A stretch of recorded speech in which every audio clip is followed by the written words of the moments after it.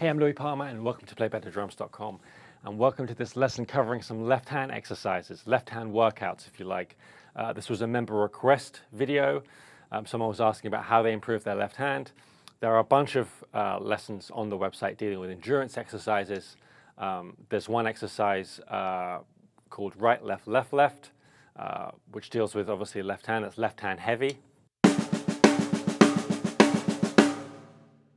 And that was, as far as I'm aware, was uh, like an Ed Shaughnessy exercise or something that he taught and said you should do a thousand a day to really get your left hand going. So that's a good one, um, making sure that you're really at brisk tempos and the left hand's nice and strong.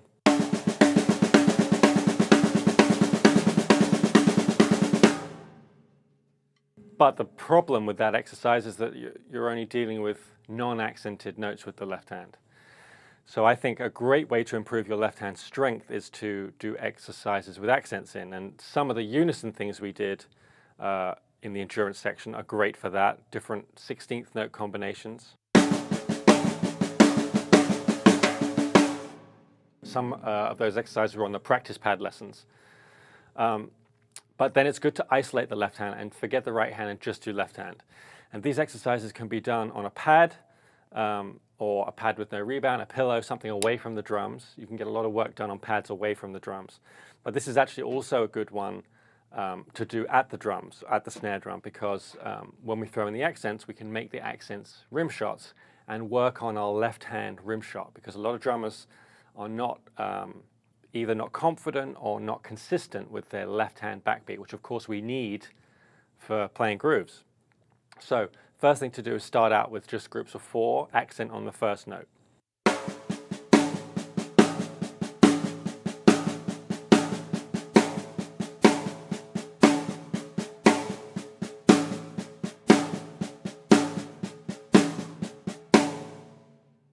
And whatever tempo you start at could be much slower than that, whatever you need to do to get the sound consistent. Because although this is an endurance exercise, we also want to think about sound because we're at the snare drum and we're working on our left hand rim shot as well. So I'm making sure that the bead of the stick is in the middle of the drum, not at the side. We don't want that sound. And we want the, the sound to be consistent, the rim shot sound to be consistent every time and not miss any rim shots.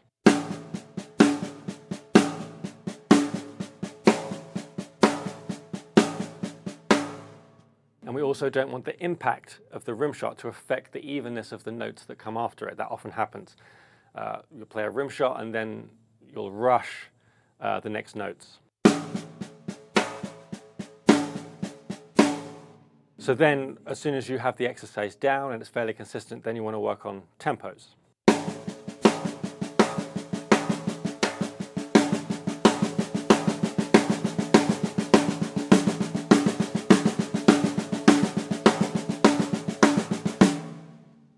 So that would be a top tempo for me. So I would find something around that, maybe a tiny bit less to begin with, and I'd set the click, uh, quarter notes or eighth notes, uh, and then I'd work on that and gradually go up in increments of, uh, depending on how close to my top tempo I was, uh, maybe increments of five.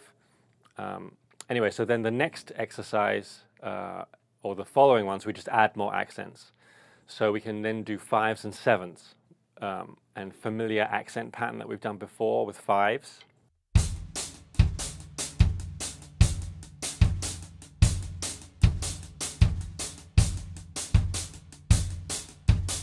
So we're just accenting every five notes, uh, and but then adding another accent. So we have that that accent pattern. So with the left hand,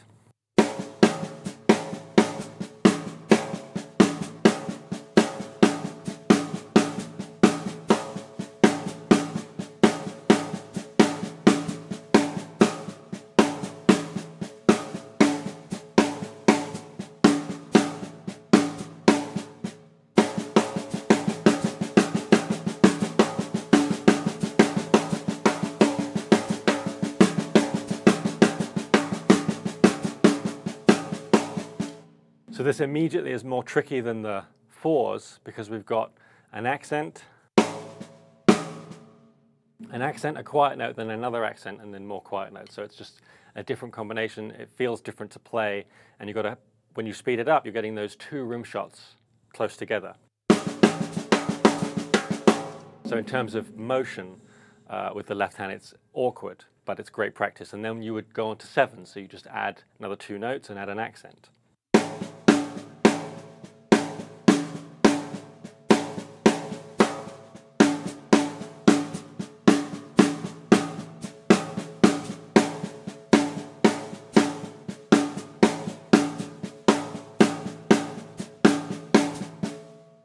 So although these are odd groupings and they're going over the bar line, it's just 16th notes. It's just 1, 2, 3, 4, 1, 2, 3, 4, 1, 2, 3, 4, you know, bars of 16th notes with hi-hat and quarter note every four notes, but we're grouping them in sevenths.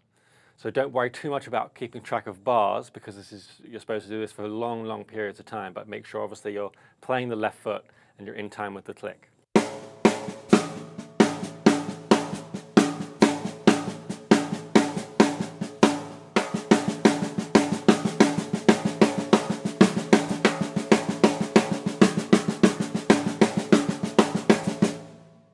When you're close to your top tempo and you're struggling and you start to really like uh, not be able to play the pattern anymore, then you would back off for a little bit, maybe play something else uh, with the left hand or give it a breather and then go again and tr keep trying to push the tempos.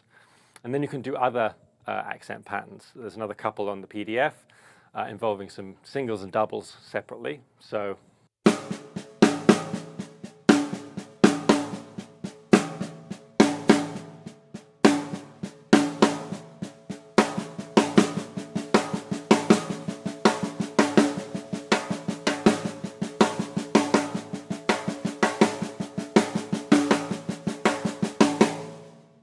This one is tricky because uh, it's a double accent, like literally close together, whereas the fives and sevens had a little ghost note in between.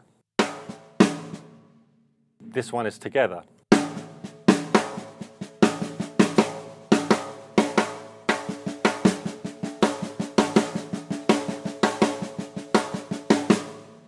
So that's a really tricky one. And then the last one on the PDF is this.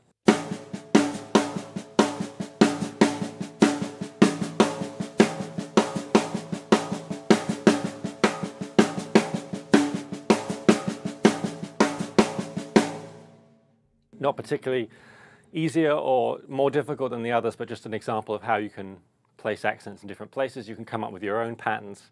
Um, you could mess with where that double is.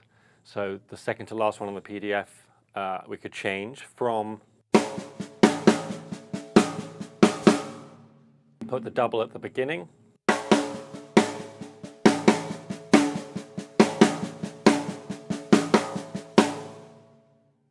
and then uh, put them all together, whether it's at a slow tempo or, or your top tempo, uh, but try and do uh, um, short periods of each one and then move on to another one.